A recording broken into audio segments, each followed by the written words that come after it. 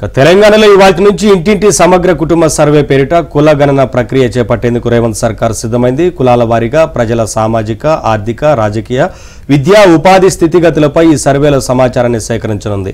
దేశవ్యాప్తంగా కులగణన నిర్వహించాలని కాంగ్రెస్ పార్టీ చాలా కాలంగా డిమాండ్ చేస్తున్న సంగతి తెలిసిందే.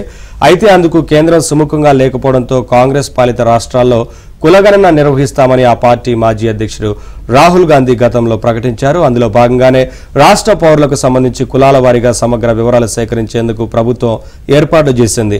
రాష్ట్రంలోని బీసీ ఎస్సీ ఎస్టీ ఇతర బలహీన వర్గాల అభ్యున్నతి కోసం వివిధ సామాజిక ఆర్థిక విద్యా ఉపాధి రాజకీయ అవకాశాలను మెరుగుపరచడానికి తగిన ప్రణాళికలు రూపొందించి అమలు చేయడమే ఈ సమగ్ర సర్వే ప్రధాన లక్ష్యమని రాష్ట్ర ప్రభుత్వం ప్రకటించింది.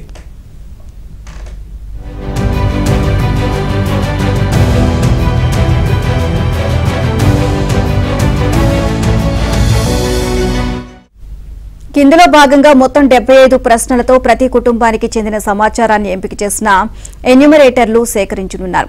ఇక ఆ సమాచారాన్ని అత్యంత గోప్యంగా ఉంచాల్సిన బాధ్యత ఎన్యూమరేటర్లదే.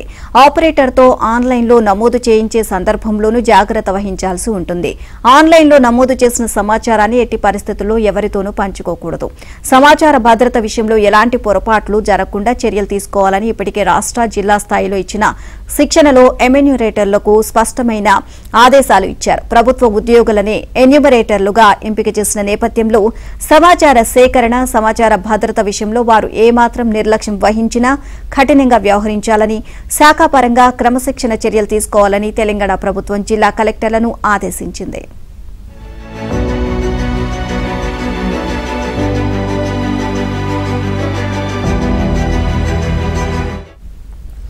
అప్డేట్స్ మా కరస్పాండెంట్ నరసింహరావు అడిగి తెలుసుకుందాం. నరసింహరావు ఇప్పటికే ఈ సమగ్ర కుటుంబ సర్వేకి సంబంధించి ఎలా నిర్వహించాలనే దానిపైన కొంత ట్రైనింగ్ సెషన్ కూడా నడిచినట్లు తెలుస్తా ఉంది మొత్తంగా ఏ విధంగా ఉండబోతా ఉంది కులగణన? ఈ సర్వేకి సంబంధించి ప్రభుత్వం ఏం చెప్తా ఉంది ఎస్ ఇదైతే ఒక దేశానికి నమూనాగా దిక్సూచిగా ఉండబోతుంది అనేటువంటిది ప్రభుత్వం చెప్- చెప్తున్నటువంటి మాట.